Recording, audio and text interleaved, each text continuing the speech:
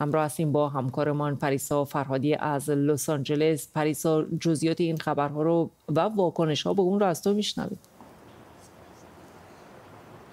خب فریبا از زمان شروع همهگیری ویروس کرونا در سراسر جهان کشورهای پیشرفته به سرعت برای تولید واکسن دست به کار شدند و خب طولی نکشید که کشورهایی مثل آمریکا، بریتانیا، آلمان و روسیه واکسن‌های تولیدی خودشون رو به بازار عرضه کردند و با اینکه همه واکسن‌ها کم و بیش عوارضی به همراه دارن اما در مجموع در واکسیناسیون جهانی موفق بودند اما خیلی از کشورها در این مقابله با ویروس کرونا جا موندن و توانایی و امکان واکسیناسیون جمعیت خودشون رو ندارن. جو بایدن امروز اعلام کرد که از لغو مالکیت معنوی واکسن های کرونا حمایت می‌کنه.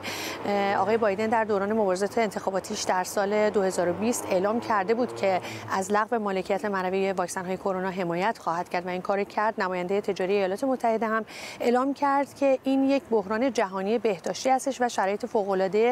بیماری همهگیری کرونا مستلزم اقدامات فوق و البته فوری هستش. الان شهروندان کانادایی نگران ورود موج سوم کرونا در کشورشون هستند و میگن شاید دریافت واکسن در کانادا ماها طول بکشه. این اجازه پرزیدنت بایدن باعث میشه رقابت های شرکت های سازنده کم بشه و مردم با رغبت به استفاده از واکسن های دیگه بپردازن و شرکت های دیگه هم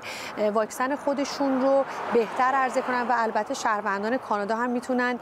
برای دریافت واکسن کرونا به آمریکا آمریکا سفر بکنن و به راحتی این واکسن رو دریافت کنن. این در آمریکا بی سابقه است باید بگم چون بسیاری از داروها تا زمانی که 15 سال فروش خودش رو طی نکنه حتی شرکت های دیگه نمی‌تونن داروی مشابه الهام گرفته از فرمول اولیه رو به بازار عرضه کنن. چون شرکت ها از کشف خودشون برای این دوران 15 ساله برای سوددهی استفاده می‌کنن و برای همین تصمیم جو بایدن سهام شرکت های دارویی فایزر و مادرنا رو امروز با کاهش زیادی روبرو کرده.